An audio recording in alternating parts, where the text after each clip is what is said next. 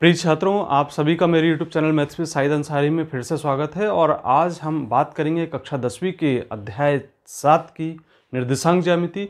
हमने पूर्व की कक्षाओं में निर्देशांक ज्यामिति का अध्ययन किया था, जिसमें हमने देखा था कि एक कार्तीय तल होता है, जिसमें दो लांबिक रेखाएँ होती हैं। तो जिन्हें हम क्रमशः एक्स अक्ष और वाई अक्ष के नाम से जानते हैं, दोनों में धनात्मक और ऋणात्मक मान होते हैं।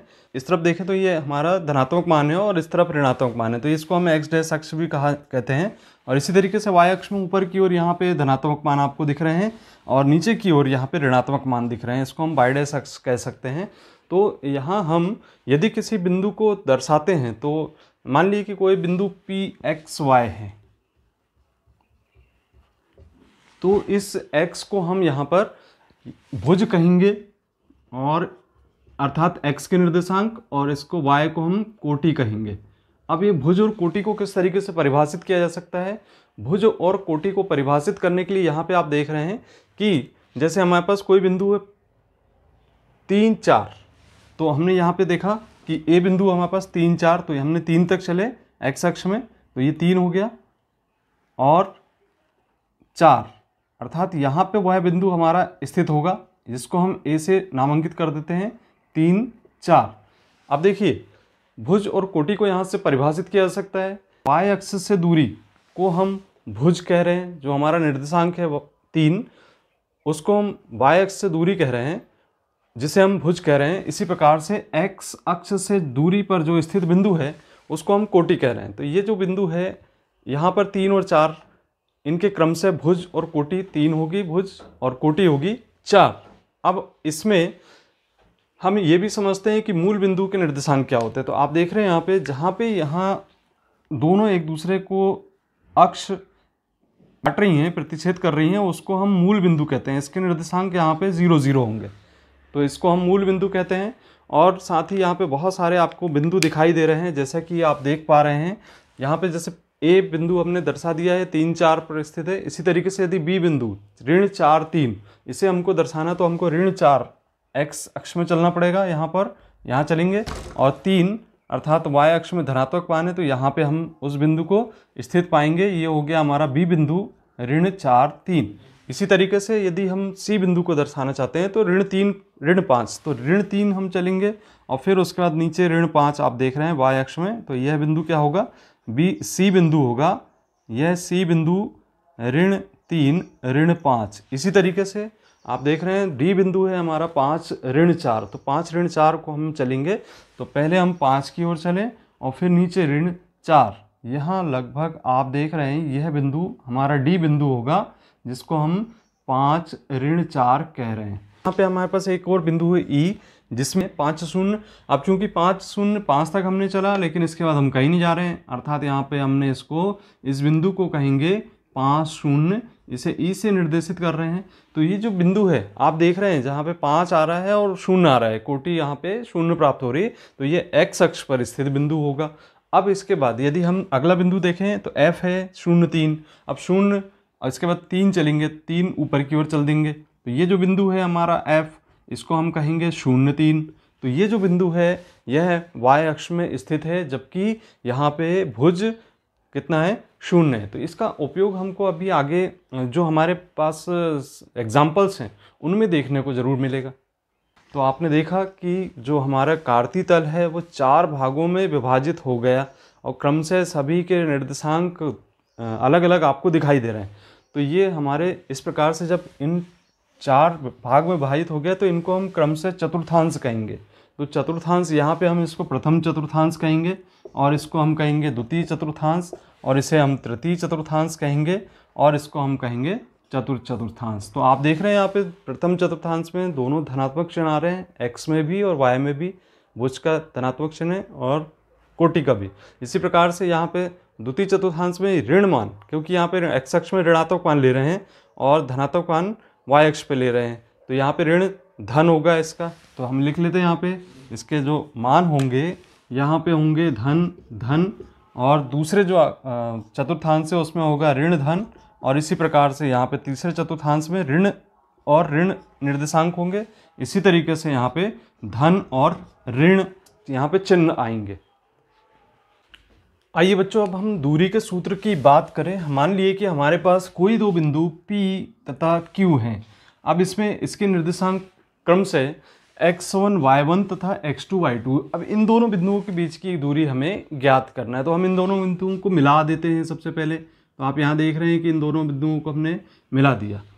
अब क्या करना है कि यहाँ पर हमें इस P बिंदु से x अक्ष पर एक लंब खींचना है।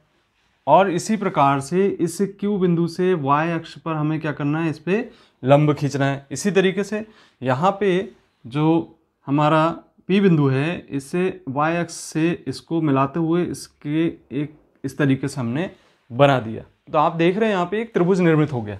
ये त्रिभुज आप यहाँ पे इसको इस तरीके से बना सकते हैं। तो ये आपको एक समकोण त्रिभुज बनता हुआ दिखाई दे रहा है। अब इस समकोण त्रिभुज तो चूँकि यहाँ पर हमारे पास P और Q बिंदु के निर्देशांक है तो हम इनके मान यदि निकाल लें तो हम देखते हैं कि इनके मान ज्ञात करने पर हमको इन दोनों बिंदुओं के बीच की दूरी कर्ण के रूप में प्राप्त हो जाएगी। तो हमें इस कर्ण का मान निकालना होगा, जबकि हम लंब और इसका आधार निकाल लें तो क्रम से इसको हम यहाँ पर R और S से डिनोट कर दें और इसको हम यदि T से डिनोट कर दें तो हमारे पास एक त्रिभुज पी टी क्यू समकोण त्रिभुज प्राप्त हो जाता है। तो इस समकोण त्रिभुज में हम कर्ण का मान निकालेंगे। इसके लिए हमें क्या करना होगा? ये दूरी ज्ञात करना होगा। तो यहाँ से जो यहाँ तक की दूरी है, क्रम से, यहाँ से हम देख रहे हैं मूल बिंदु ओ है ये। तो इससे यहाँ से दूरी, इसकी यहाँ से यहाँ तक की दूरी आपको दिखाई दे रही है एक्स वन और ये जो दूरी है, यहाँ की एस की, ये हमारी है एक्स टू इस दूरी को हम क्या कहेंगे? एक्स टू दूरी कहेंगे। तो जब यहाँ पे इस दूरी को इस दूरी में से कम कर देंगे तो ये दूरी हमें प्राप्त हो जाएगी।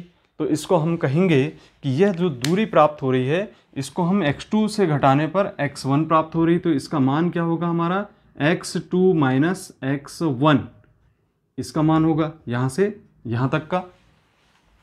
ठीक? तो ये दूरी हमारी ज्ञात हो गई। अब आपको देख रहे हैं कि ये ये जो दूरी ज्ञात हुई, ये इसके समानांतर है। तो इसको हम कह सकते हैं x2 to minus x one तो हमारा आधार ज्ञात हो गया कि x2 to minus x one है। अब इसके बाद आप यहाँ पे देख रहे हैं कि ये जो लंब है इसके लिए हमें क्या करना होगा? ये वाली इस मान को ज्ञात करना होगा। तो आप यहाँ पे देख रहे हैं इसी तरीके से यहाँ से यहाँ तक की जो दूरी है हमारी दिख रही है ये हमारी किसके बराबर है? आप देख पा रहे हैं तो ये हमारी y वन के बराबर है। और इसी तरीके से यहाँ से यहाँ तक की जो दूरी है ये हमारी y2 के बराबर है। तो यदि हम y2 में से y1 को घटा दे रहे हैं तो ये मान हमें प्राप्त हो जा रहा है। तो इसे हम y2 टू माइनस वाई लिखेंगे। अर्थात हमारा लंब जो है, यानी Q T y two minus y प्राप्त हो गया, और जो आधार है, वह हमारा P T x two minus x one प्राप्त हो गया है। अब हम क्या करेंगे कि यहाँ पर पाइथागोरस का प्रमेय लगाएँगे। तो हम जानते हैं कि पाइथागोरस का प्रमेय क्या होता है? पाइथागोरस प्रमेय से। तो पाइथागोरस प्रमेय कहता है कि जो कर्ण है, उसका वर्ग अन्य दो भुजाओं पर बने वर्ग के योगफल के बराबर होता है। तो हमारे पास दो भुजाएँ, अन्य दो भुजाएँ हैं, लंब और आधार। तो इसे लिखेंगे लंब का वर्ग, धन, आधार का वर्ग। तो ये इस प्रकार से पाइथागोरस का प्रमेय यहाँ पर अप्लाई करेंगे। तो कर्ण जो हमारा है पी क्यू इन दोनों बिंदुओं के बीच की दूरी ही ज्ञात करना हमें। तो इसका मान अभी हमें ज्ञात करना है। तो हम लिखेंगे यहाँ पे कर्ण आपके पास कर्ण यहाँ पे क्या दिया गया? आप इसको निर्देशित कर दें तो यहाँ पे पी क्यू लिख दें। तो पी क्यू की घात दो लिखेंगे, बराबर। लंब आपका ये है तो सॉरी ये आपका लंब है y two minus y one तो इसको अपन लिख देते हैं यहाँ पे y two minus y one की घात दो। और धन, यहाँ पे आधार हमारा निकल के आया है x two minus x one तो इसे हम लिखेंगे x two minus x one की घात दो। अब चूँकि यहाँ पे घात दो लगा है तो ये घात दो है, यहाँ से दोनों पक्षों में वर्गमूल लेने पर यहाँ पे जैसे ही वर्गमूल लिया तो यहाँ हो गया आपका पी क्यू बराबर। इसको हम इधर उधर करके लिख सकते हैं तो इसे हम लिखेंगे x two minus x one की घात दो और धन y two minus y one की घात दो। और यहाँ पे चूँकि यहाँ वर्ग था तो इस तरफ़ आपका वर्गमूल लग जाएगा। और जो हमें अब सूत्र प्राप्त हुआ है, उस सूत्र को आप यदि ध्यान से देखें तो यही जो सूत्र है, यह दोनों बिंदुओं के बीच की दूरी को प्रदर्शित करता है। तो क्या सूत्र हो गया आपका? पी क्यू करणी x two minus x one की घात दो, धन y two minus y one की घात दो। अर्थात इनके मान यदि हमको निर्देशांक यहाँ पे मान रख दें तो दोनों बिंदुओं के बीच की दूरी ज्ञात हो जाएगी।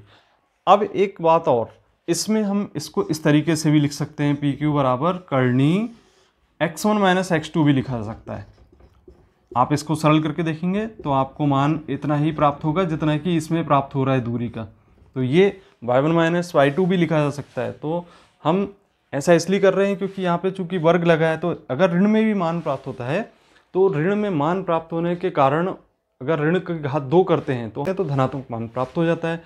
अब इसमें मान लिए कि हमारे पास कोई दो बिंदु हैं जिसका की दूरी ज्ञात करना है। क्रम से हम मान लेते हैं कि वह बिंदु हमारे दो तीन चार एक अर्थात पी का मान दो तीन है और चार एक है क्यू का मान। तो दोनों बिंदुओं के मान ज्ञात हैं। इसको हम क्रम से एक्स वन और इसको वाई वन कहेंगे और इसको एक्स टू और वाई टू।